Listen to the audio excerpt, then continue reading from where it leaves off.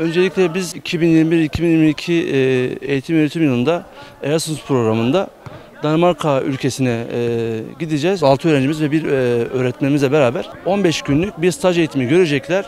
Orada güneş panelleri ve rüzgar gülleri inceleyecekler ve 15 gün boyunca yaparak, yaşayarak oradaki almış oldukları eğitimi tekrardan okulumuza gelip buradaki projeye katkı sunacaklar. Tabii öğrencilerimiz daha Siirt'in dışına çıkamazken Danimarka bir ülkeye gidecekler, oranın kültürünü yaşayacaklar ve orada eğitimin nasıl daha bir üst düzey olduğunu veya nasıl e, işe iş olduğunu e, birebir yaşamış olacaklar. E, öğrencilerimizin de çok şanslı olduğunu belirtmek istiyorum. Yani şu anda 600 öğrencimiz var.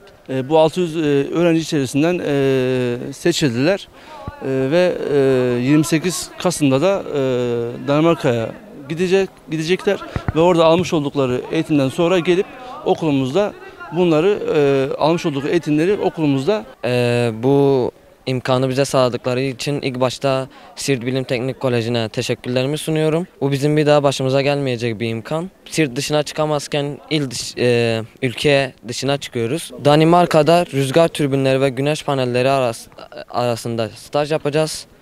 Sonra hocamızın dediği gibi gelip burada bilgileri paylaşacağız. Umarım iyi geçer. Ee, yurt dışına ilk defa çıkacağım. Ee, orada rüzgar gülleri ve güneş panelleri hakkında stajımız olacak. Belgeler alacağız. Bu belgeler sayesinde yurt dışında çalışabileceğiz.